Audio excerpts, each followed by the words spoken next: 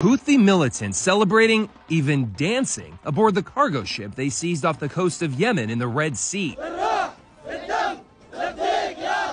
Disrupting global trade and upending global stability. For months, the armed militants have been attacking merchant ships and the U.S. military there to protect them in what they claim is opposition to the war in Gaza and America's support of Israel. They're also known proxies of Iran. Last week, U.S. Navy SEALs raided a vessel headed for the Houthis in Yemen. Inside, they found advanced weaponry from Iran. Two Navy SEALs fell overboard and remain missing.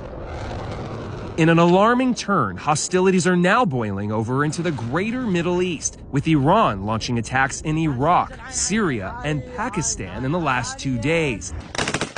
Dizzying flashpoints that risk spiraling even further out of control. Sparked by